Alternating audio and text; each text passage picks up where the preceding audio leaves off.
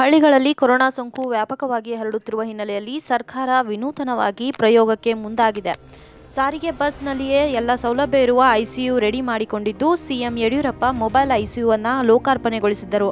ಬೆಳಗಾವಿಯ ಸುವರ್ಣ ವಿಧಾನಸೌಧದಲ್ಲಿ ಸಾರಿಗೆ ಬಸ್ನಲ್ಲಿ ತಯಾರಿಸಲಾಗಿರುವ ಮೊಬೈಲ್ ಐಸಿಯುಗೆ ಸಿಎಂ ಅವರು ಚಾಲನೆ ನೀಡಿದರು.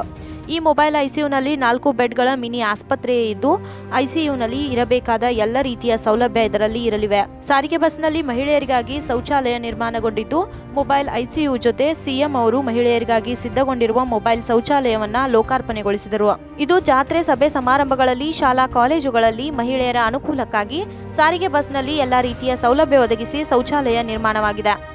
ಸಿಎಂ ಯಡಿಯೂರಪ್ಪ ಅವರು ಐಸಿಯುಗೆ ಚಾಲನೆ ನೀಡುವುದಕ್ಕಿಂತ ಮುಂಚೆ ಕೆಪಿಸಿಸಿ ಕಾರ್ಯಾಧ್ಯಕ್ಷ ಸತೀಶ್ ಜಾರಕಿಹೊಳಿ, ಶಾಸಕಿ ಲಕ್ಷ್ಮೀ ಹೆಬ್ಬಾಳ್ಕರ್ ಅವರು ಪರಿಶೀಲನೆ ನಡೆಸಿ ಸಾರಿಗೆ ಇಲಾಖೆಯ ಕಾರ್ಯಕ್ಕೆ ಮೆಚ್ಚುಗೆ ವ್ಯಕ್ತಪಡಿಸಿದರು. Bureau report, Kannadama news network, Belagavi.